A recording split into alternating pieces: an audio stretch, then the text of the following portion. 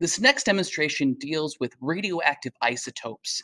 Here I have a radiation monitor and you can see projected on the screen that the radiation is counting the radiation in the atmosphere.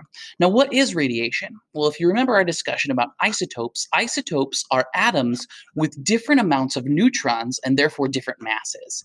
Now, not all atoms or not all isotopes of atoms are stable. Remember, neutrons, the job of neutrons is to basically stabilize the nucleus. They're there to hold those protons together. If there's not enough neutrons, or sometimes if there's too many neutrons, that nucleus becomes unstable and it reacts. It, it releases particles in the form of radiation. So I have a few things that I want to show you that actually emit radiation. So right now I'm just holding this up in the atmosphere. And yes, the radiation comes down from all over the place. We get radiation from space and there's radiation from other things. You might be familiar with radon that happens in houses that you'd have to mitigate if there was a problem. Now, a few things that I have one of them is this little thing right here. This is called a mantle. And you find these things inside propane um, lanterns. Like if you were to go camping, these would be inside the propane lantern and you'd light them in order to get light. Now, this mantle has a thorium isotope on it that's radioactive. So I'm going to go ahead and hold the radiation monitor up to my thorium mantle.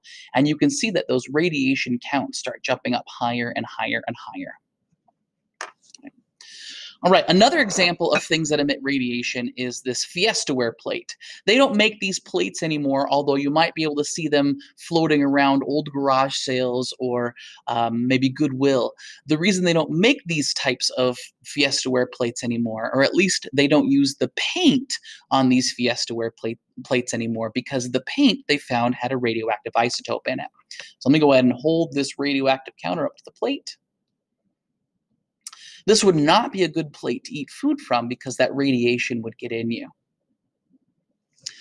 All right, the last example of something I want to show you is something you all should have in your house, and I hope you do. It is a smoke detector. If you look really closely, I'm not sure if you're going to be able to see it, but a lot of smoke detectors actually have a warning label on them that let you know that there's a radioactive material on them.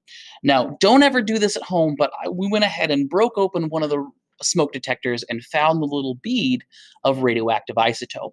Now, this little bead has americium in it. And what this americium does, just like all radioactive isotopes, is it, emit, it emits particles.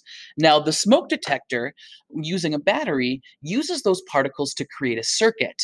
When smoke gets in between those particles, it blocks the circuit from forming, and the smoke detector knows then to go off because there's smoke in the house and you need to get out.